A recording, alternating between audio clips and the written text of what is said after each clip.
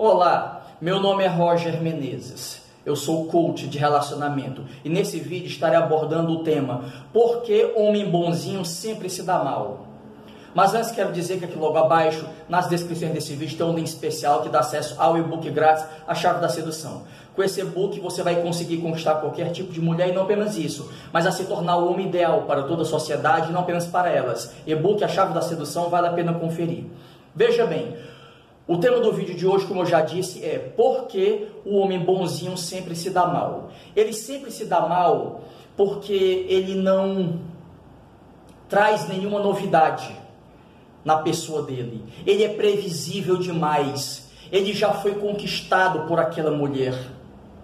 Ele já foi conquistado por aquele grupo de amigos. Ele não tem mistério nenhum.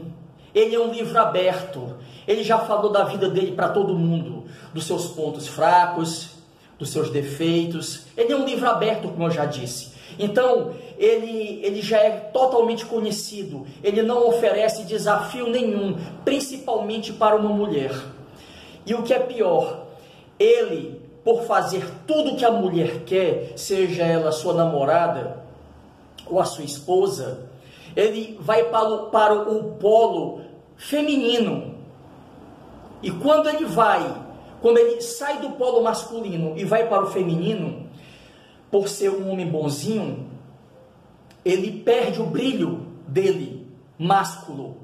Ele perde o brilho másculo, tornando-se previsível, como eu já disse, na, fica na polaridade feminina e assim a mulher acaba enjoando de estar do lado desse homem, fazendo com que ela o humilhe, o despreze, o maltrate e coisas do tipo. É por isso que o homem bonzinho sempre se dá mal, porque ele é previsível, ele já foi conquistado, ele não é mais um mistério para ninguém. Certo? Ele é um sujeito transparente demais.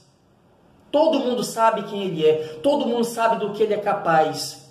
Ele não oferece ameaça nenhuma, desafio nenhum.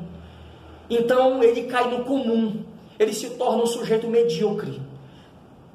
Simples assim. Bom, espero que tenham gostado da informação do vídeo de hoje e para aqueles que querem ter uma consulta comigo, aqui logo abaixo, nas descrições desse vídeo, tem o meu número de WhatsApp para maiores contatos. Gente, muito obrigado pela atenção de todos vocês. Fiquem com Deus e até o próximo vídeo.